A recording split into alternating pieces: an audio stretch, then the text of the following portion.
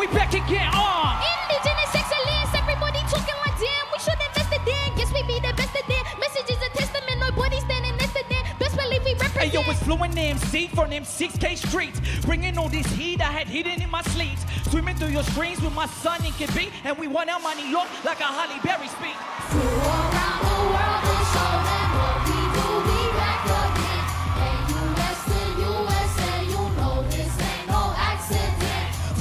Team and this was making the difference. We made come on proud cause they see the fam gifted. Generational wealth, no generational prison. And that's the way indigenous men are be in the system. So For the yard, but it's man, let me do my thing, guys. that's a little nod to the mob who know the lingo. We ain't gonna stop till the status anything, guys. Until we on top with the lots on bingo. Damn, I got to taking the throne. Tell 'em my boy, let 'em all know. Give me my trophies, I'm taking them home. Well, if that's where your destiny goes. For people to feel go place to go, been enough for me, now I'm stuck in my zone. Yo, you stuck in your zone?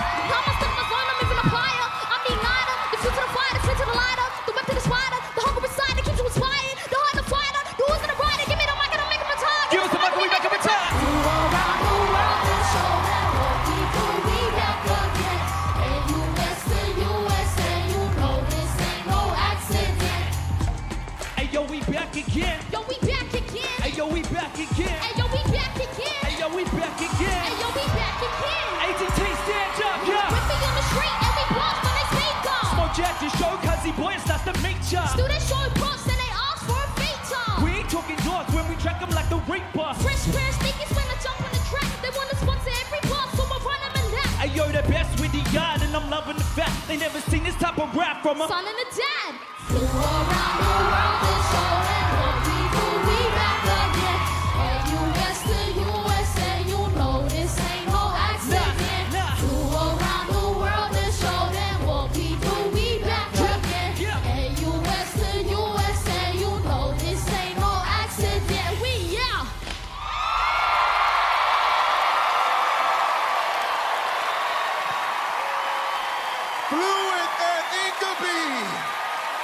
With an original song. We are back on AGT. We are back. Howie. Oh, Flewnt and Inkabee. What a way to open a live show. That was amazing. It was so energetic. And I don't know if you could see me and Heidi, but you were making us move like a female Australian breakdancer. It was amazing. Heidi. Yeah, I love the coolness. I love the confidence that both of you have, especially you, young man. Very well done. It has, to me, it has like a little flavor of like 90s hip hop and a little Eminem, but you make it your own and you do it well, very well. And I think everyone in here enjoyed it too. So well done and good luck. Sofia. I mean, you guys are amazing. You guys were amazing on the audition, and tonight it was spectacular. I love you guys, and what I love most is the, the relationship between the two of you and how the dad gives the complete spotlight to the kid who deserves it. Love it. Simon. I think it was very smart doing this together. I think there has to be a point, though, where you've got to separate. Yeah. Really? I do. Yeah, I do. Um, I think, yeah, because you can He'll both move have out when he's 18. Yeah.